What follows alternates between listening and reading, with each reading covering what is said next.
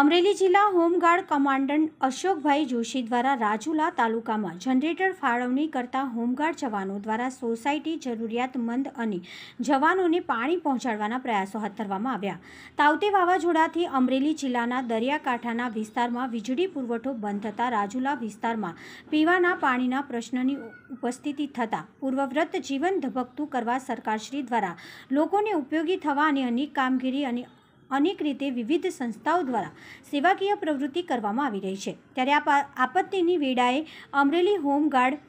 દળના જિલ્લા કમાન્ડન્ટ શ્રી અશોક જોશી દ્વારા રાજુલા હોમગાર્ડ યુનિટને જનરેટર ફાળવવામાં આવ્યું, જેના ઉપયોગથી રાજુલા હોમગાર્ડ યુનિટના જવાનો ગોંડલિયા, કાદરી તથા ધાકડા દ્વારા સોસાયટી તેમજ જરૂરિયાતમંદ લોકોને હોમગાર્ડ જવાનું પાણી વિતરણ કરી રહ્યા હોવાનું રાજુલા હોમગાર્ડ યુનિટીના ઇન્ચાર્જ ઓફિસર શ્રી અજયસિંહ ગોહિલની યાદીએ જણાવ્યું હતું.